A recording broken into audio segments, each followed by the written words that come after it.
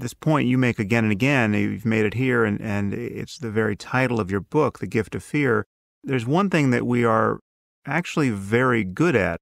Evolution has made us experts at detecting danger and detecting shady people, you know, fe- feeling uncomfortable in the presence of people who are liable to do us harm.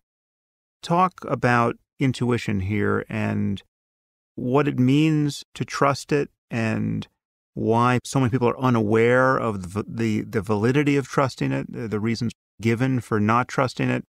Talk about the primacy of intuition for a moment.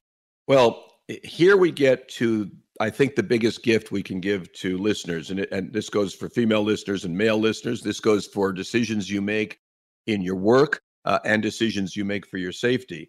Ultimately, the biggest decision we all make is who to include in our life and who to exclude from our life that's choosing friends, uh, spouse, neighbors, all uh, you know, uh, uh, coworkers, etc. We make those choices. Those choices aren't made for us.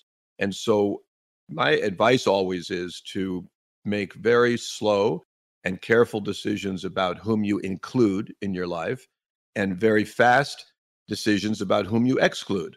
So, if you have that nanny that you're uncomfortable about, uh, she goes. The only thing that's going to protect you is your own intuition, which is your own ability to recognize that something is up while it's while it's right in front of you or while it's in your environment. And I think, as you said, Sam, it's super hard for people to accept the importance of it because intuition is usually looked on, you know, as uh, with some contempt. It's described as emotional or unreasonable or inexplicable, and husbands make fun of wives for feminine intuition and they don't take it seriously. But um, what I can tell you about intuition, I learned from the origins of the word itself. The root of the word, inter, means to guard and to protect. Super interesting that that's what it means. We think we're using intuition to make a thousand other decisions, but what it's built for, what it's in this system for, is to guard us and to protect us. But what it does, intuition, is it connects us to the natural world and to our nature so that when we are free from judgment and we've got only perception we say that thing, you know, in, in recounting what happened to us, somehow I knew. So if people will do these two things, one is to pay attention to intuition. It's, in my opinion, it's always right in two important ways. One is it's always based on something. And two, it always has your best interest at heart. And the question to ask always this is how you tell the difference between true fear, like I'm afraid of getting on this plane, and unwarranted fear, worry, anxiety, etc. This is how. True fear will always be based on something in your presence and will always be based on something you perceive. It the, the signal comes from your perception, from your senses.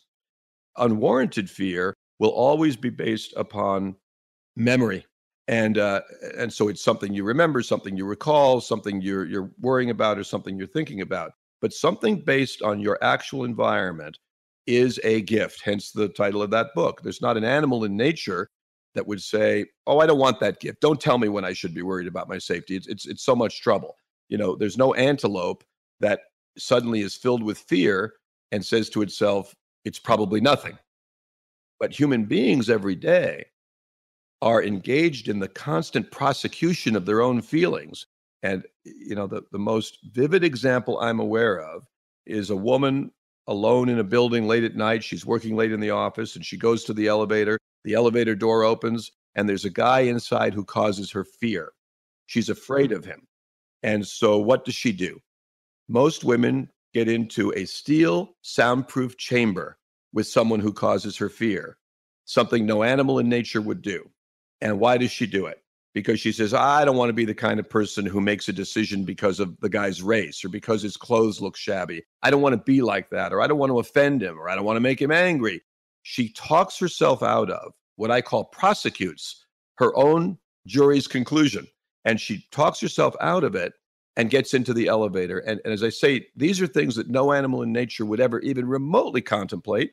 And human beings do it every day, participating in their own victimization if you're not going to be motivated by a split second sense that the person who's just come into your presence doesn't mean well or represents a, a physical risk to you, if you are going to forsake that signal based on some, you know, larger social concerns that have been drummed into you, you will be the sort of person who never acts to avoid proximity to violence at the first opportunity.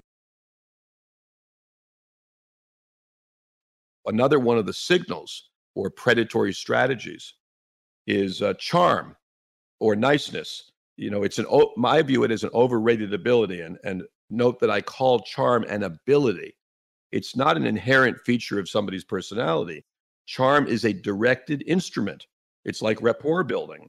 To charm somebody is to compel or to control them by some kind of allure or attraction. And I encourage people to think of charm as a verb, not a trait.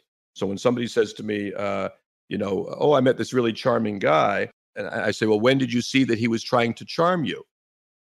Right. So it's it's a it's a verb, and uh, uh, so among all the signals, this one, charm and niceness, is the one that tends to destabilize or distract uh, victims the most often. You know, he's such a nice guy. He looked like such a nice guy. He acted like such a nice guy. Well, how would somebody act who wants you to get in their car other than to act nicely? And so we, we have to learn and teach our children as well that niceness, which is a choice, does not equal goodness.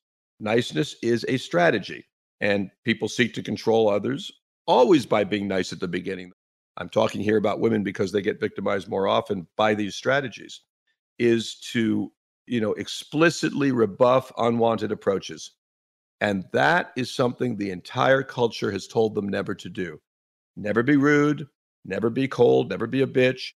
And, and so, what, what I have really seen in my career, hard to believe for a lot of people, but important to believe, is that, uh, you know, I've studied so many uh, incidents of victimization and all of the behaviors that led up to them on the part of the victim and on the part of the predator.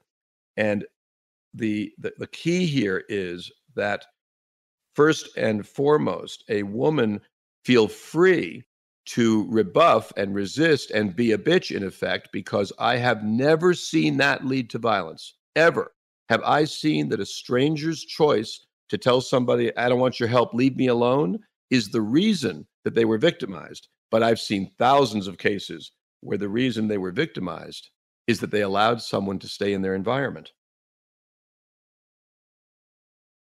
A lot of people say to me, I don't even want to think about this topic. And my response is Do you imagine that not thinking about it is an effective resource in an emergency? Or do you imagine that not thinking about it is somehow a magic amulet that will make it less likely?